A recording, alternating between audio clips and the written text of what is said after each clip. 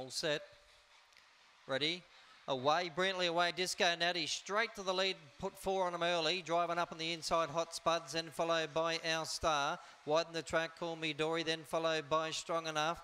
Uh, well back there was Fanatic, uh, Kenner back second last, and last of all Smoky Wish. The one that catches Disco Natty going well on the corner. Disco Natty in front, here's Fanatic, Fanatic over the top gets up. Fanatic beats Disco Natty.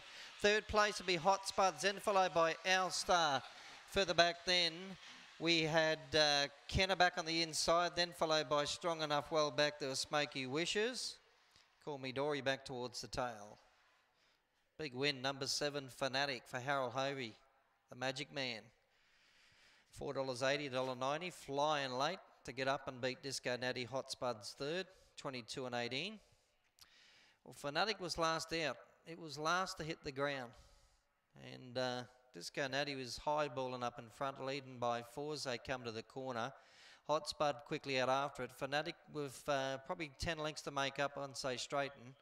But uh, once they straighten, it uh, flew and got Disco Natty and raced away for a win on the end, about a length and clear. 7, 5, 1 and 2, 22 and 18. 7 the winner Fanatic for Harold Hovey. 5 Disco Natty second, one third Hot Spuds and 2 Our Star. 7